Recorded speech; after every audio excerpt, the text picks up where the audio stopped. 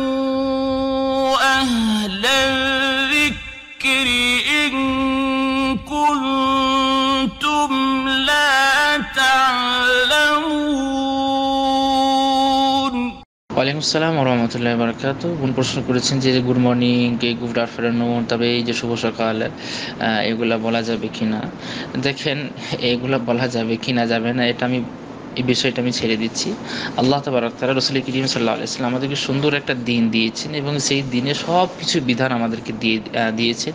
এত সুন্দর বিধান দিয়েছেন। সেই বিধানের মধ্যে একটা বিধান সালাম সালাম প্রথা। রসুল করিম সাল্লাহ আলাইসাল্লাম বলেছেন, আফসুস সালাম বাইনাকুম, তোমরা আপোষে সালামকে ছড়াও, কেননা সালামের মাধ্যমে মহাব্বত বাড়ে, ভালোবাসা বাড়ে। হ্যাঁ সালামের মাধ্যমে মহাব্বত ও ভালোবাসা বাড়ে। আর সালাম এমন এক জিনিস যে আপনাকে শব্দ চেঞ্জ করতে হবে না যে সকালের জন্য আলাদা শব্দ দুপুরের জন্য আলাদা শব্দ, রাত্রির জন্য আলাদা শব্দ, দুঃখের সময় আলাদা শব্দ, তারপর কি বলে সুখের সময় আলাদা শব্দ কোনো শব্দ চেঞ্জ করতে হবে না। সব সময় কি বলে একটা শব্দ একটা বাক্যই, সেটা হচ্ছে আসসালামু আলাইকুম রহমতুল্লাহ। তোমার উপর আল্লাহ তবরক তাআলা দয়া দয়া বর্ষণ হোক, রহমত বর্ষণ হোক।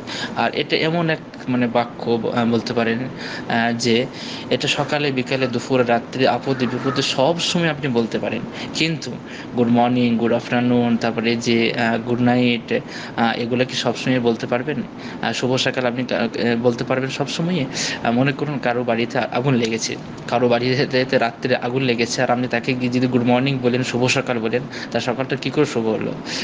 আর এই শব্দগুলো তাকে কীরকম লাগবে? কিন্তু সালাম এমন একটা জিনিস যে কারও বাড়িতে যদি আগুন লাগে, কারও বাড়িতে যদি জ্বলে পড়ে হয়ে যায়, তাও কি বলে তাকে বলা হবে, আসসালামু আলাইকুম রহমতুল্লাহ, তোমার আল্লাহ তালার রহমত বর্ষণ হোক। তো এই শব্দগুলো এত সুন্দর শব্দ, এত সুন্দর বাক্য যা আল্লাহ তাবার আক্তার রসুল করিম সাল্লাহ আমাদেরকে দিয়েছেন।